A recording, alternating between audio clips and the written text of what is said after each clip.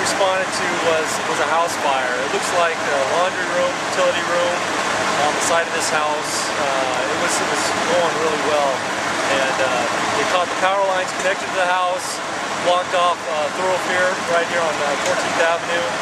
So we had uh, arcing lines, active fire, and uh, out front we were greeted by a Spanish-speaking man, and he was yelling frantically to the firefighters when we arrived, and, and, what a lot of firefighters heard was that there was somebody else inside. But uh, what he ended up being concerned about was some documents. Uh, that's what he was trying to convey to us.